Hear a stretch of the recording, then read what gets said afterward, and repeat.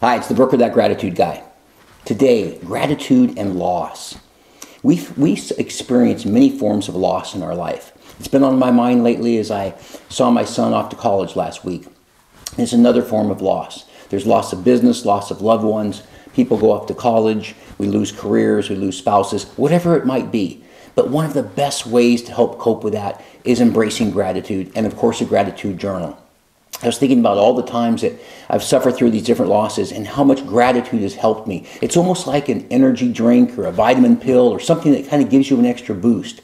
Because when you're going through a tough time, you're focusing in so many cases on what's happened to you, the loss, the loss of the person again, or the career, or the job, whatever it might be. But what gratitude does, it gets us focusing back on what we have in our life the many blessings that we have, the many things that we're grateful for, things that we appreciate, that we're thankful for, and so forth. I think, for instance, in the last week or so, I've had many friends be very supportive of you did a great job raising your son, etc., etc. And it was like that extra boost that I needed. But there was just that extra piece of writing in that gratitude journal and refreshing my memory every single day for the last five or six days of all the things I'm grateful for, not the least of which, which is the health and happiness of my son and the fact that he's off going to college and going to have a great experience and that I prepared him properly for life.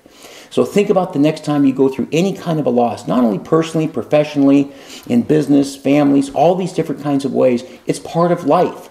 But gratitude and a gratitude journal, and if you need one, you can get one at thebrooker.com, can assist you and really give you that support you need in that time of, of loss or in that time of need. So keep that in mind. Use gratitude for many things, but use gratitude when you're going through a loss. It can really, really help.